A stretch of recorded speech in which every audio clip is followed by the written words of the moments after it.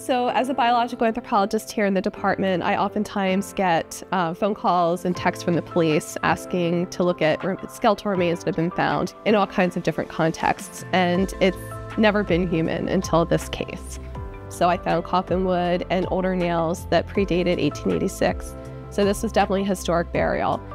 While I was excavating the burial, the police were calling around to local historians to try to find information about the area. Um, and that's when they found out that the original poorhouse had been located very close to this area and that this portion of the poorhouse grounds had been used as a burial ground.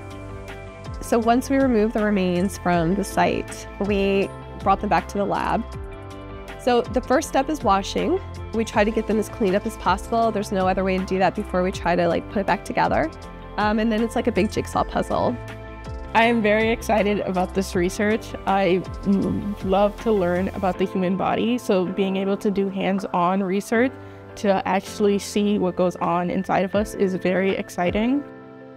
So it's not complete because it was found with a backhoe, so we, we are missing quite a bit of the skeleton, including a very important part, which is the pelvis, which is the best bone for assessing biological sex and also age. But from the femur bone, which is the upper bone of the leg, which is very well preserved. Um, it appears to be male, so it's a pretty big bone. I could tell can tell that he was heavily muscled. Looks like his teeth were fairly healthy. I think this is a great opportunity to be able to learn more about the history of Geneseo. It is already a historical town, but this just gives even more history to it.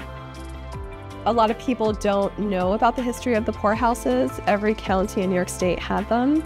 I think that giving some kind of identity and voice to this person is very important. It's a great way for the community to learn about our own history here and how we treat the most vulnerable.